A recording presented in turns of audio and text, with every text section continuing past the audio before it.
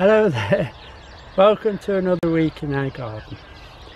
Now we're back in the garden this week. Many thanks for Gemma for last week, the little flower arranging demonstration and my efforts as well. Now we're back in the garden as I said, we're going to set some parsnip seed and some early carrot seed in the raised bed. I'm just going to pop a few radish between the rows then hopefully we can get the broad beans in before the weather breaks. We'll have to put a cage over them because of the pigeons. And then we need to get the pumpkin squash frame up. I have got it ready, I'll show you that later, but we need to get these plants in first. So we get the seed in, then we pop plants in. Now these are the parsnips. The ones we're using are called Javelin. I used them last year, they did very well. Now the thing is for parsnip seed, what seed you got left over doesn't usually keep till next year. So I'm going to try and put all the seed in and then thin the plants down if any come up. Okay? I just make a a run with the side of the timber look just to give me a straight run. I have put three rows in already so this would be the fourth row. Here you are here's the seed. Now I'm going to put all that lot in there and then thin them out to a good three inch apart when when or if they come up. Okay? So all of them in.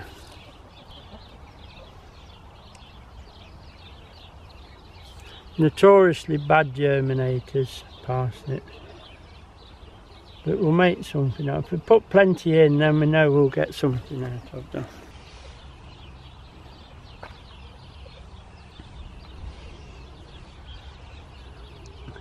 So that's it, I've got rid of all the seed now, look. That's all the seed I've got of parsnip, all in. Now what I normally do, I just push that over and then bring it down. You see, just tighten it up then I give them a watering label is there. It's Javelin F1 it'll take a long time to germinate so I'm going to pop a few radish between the rows so we can harvest those out quickly. The same way look we'll put two rows in and then three weeks time we'll put another two rows in somewhere else. Now here's the radish. It's Scarlet Globe. It's just a Wilko pack. It says 75p on it but they were selling them off at 25p so I only paid 25p for the packet. There's the radish. It's nice and big. You should be able to put this in. Now a lot of people put them in with the parsnip so they can see where the parsnips are. I don't like doing that. I like my separate because when you're pulling the pulling the radish up you'll tend to pull some of the parsnips up and parsnips don't transplant as you know. Just a thin layer, not many. Just a few.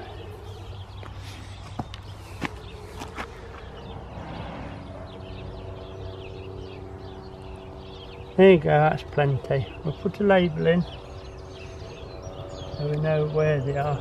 There's a few left in my hand so I'll put them in the beginning of this row and then we'll cover that one up. The same way, not too much fuss, just cover them up with the edge of the timber up and pat them down.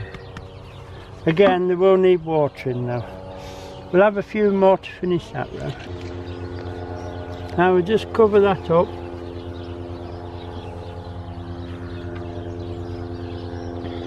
and once we've had a good watering they'll be up in no time at all.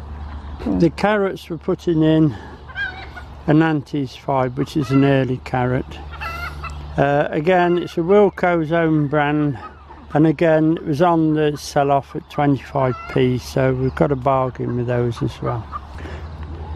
There you are there's your carrot seeds a bit finer this time and the best thing to do with carrots put them in as thin as you can and then thin them down again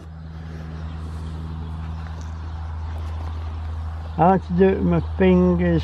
We're never going to get them so they're individual, but we can thin them if they germinate. Remember, there's only 25p, so we won't mind.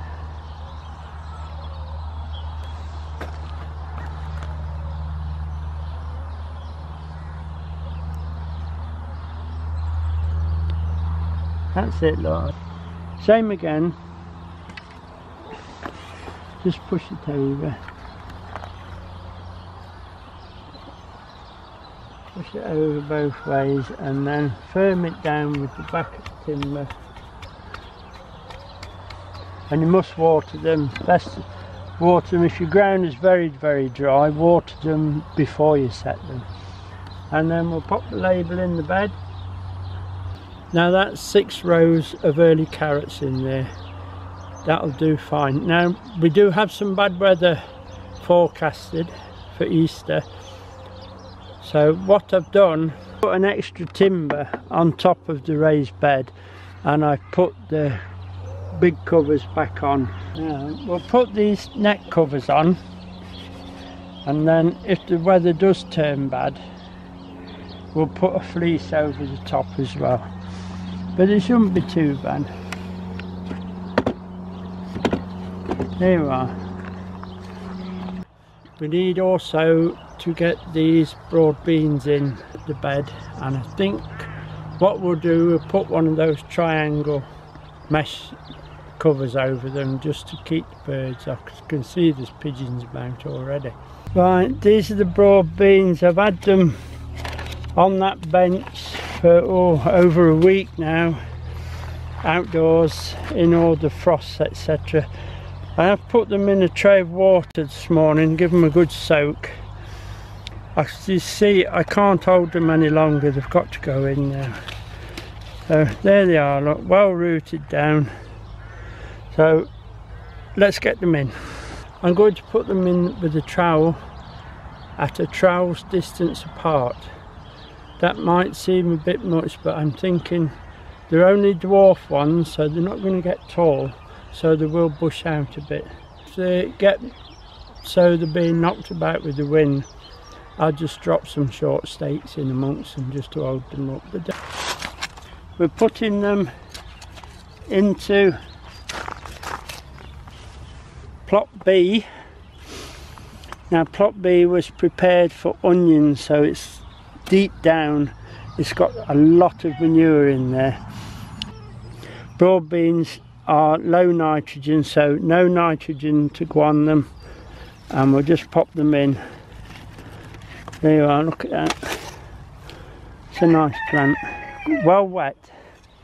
So I won't be watering them as I put them in. Lots of stones in my hand I'm just going to go around. Good heavy soil they like this and then I'm going to go that distance look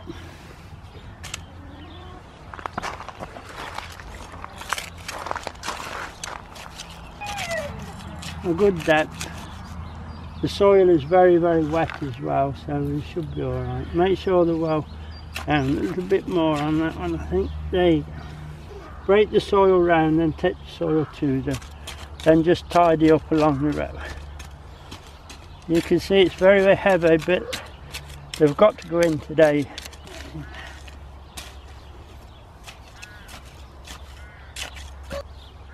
Push that down. And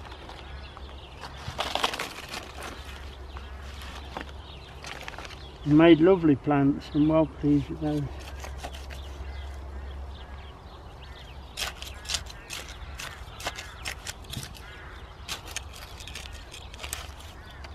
I'll finish this row and then I'll come back to you when. Right, as you can see we managed to get all the broad beans in. They have been hardened up and as long as we don't get too much wind on them they'll be fine. Now they are broad bean the Sutton.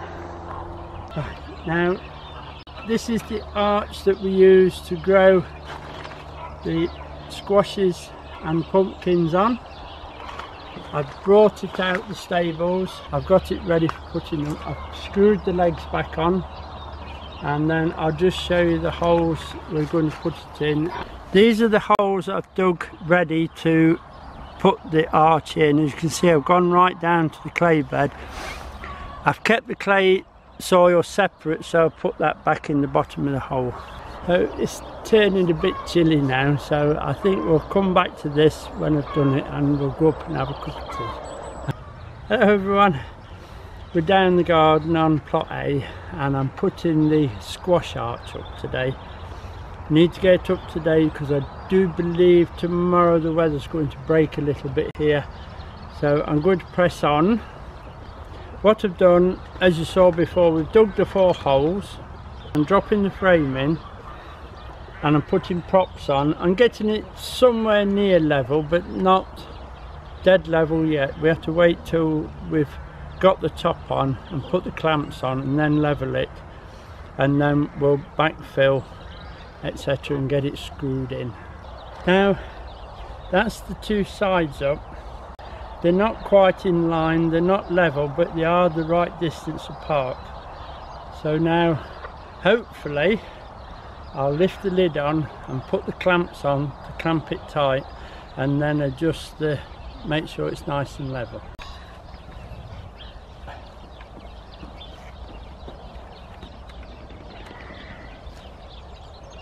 Right so that is the top lifted on and there's no outtakes. I did it in one which makes a change. Now I'm going to put the four G clamps on and then start and get it nice and level. Right that's one clamp on. I'll put the other three on and then I'll put the spirit level on all round make sure it's nice and level. Then we can fill the holes up. Hello there Friday today. Now we just need to catch up on the squash arch and the greenhouse today. Now we've had some really bad weather so we haven't been able to get down here but I did actually finish the arch. So we'll show you it finished and I'll talk you through it. As you can see it's all in nice and square. And what I should do before I plant the squashes and pumpkins in I should put bean net on it as well just to give them a bit more something to get hold of to climb up right well we'll just nip up to the top to the greenhouse now and I'll just show you what I've been up to.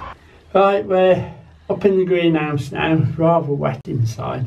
I'll just show you what I've been up to while we've had some bad weather. We've had frost every morning this week and everything covered in fleece.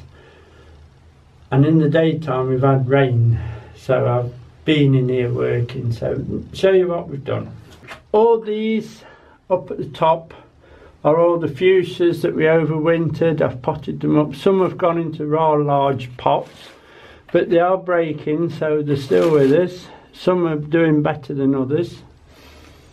But they're fine. I don't think we've lost any at the moment. I can see green shoots on them all. I put them at the top and just keep the compost moist until they start growing. Then I'll have to increase the watering.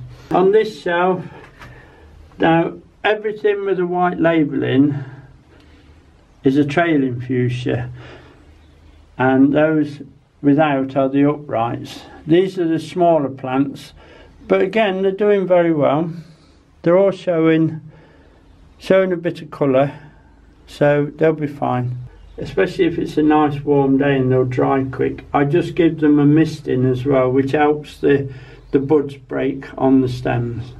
A few of the, these are a few of the geraniums that I can't get on the top shelf. I've had to put them there for now. As you see, some are a bit small, but they're all with us so we'll let them grow these are the busy lizzies that I potted up in the centre is the main seed tray still a few more coming so I've left them there just to let them grow a little and then we'll pick them out.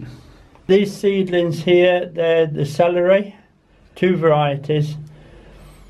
They're be, not quite ready yet so we just leave them there to grow on a bit.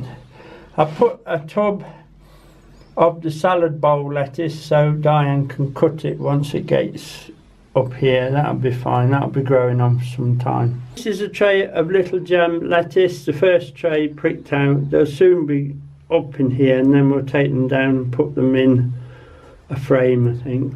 In the green tray, two varieties of the tall romaine type lettuce take a lot longer to grow so we'll have those in and out and then these will follow nicely. Now because we're so short of room in here at this time of year I've had to put the temporary shelf up. This is actually the the shelf that we ripen the onions on so I've had to borrow it out the out of the store shed and I've just put it on some brackets, so hanging basket brackets actually and these will take these geraniums until they're ready. It's nice and warm up here, they seem to like it. I put them in trays so when I water them it's not dripping all over everywhere below.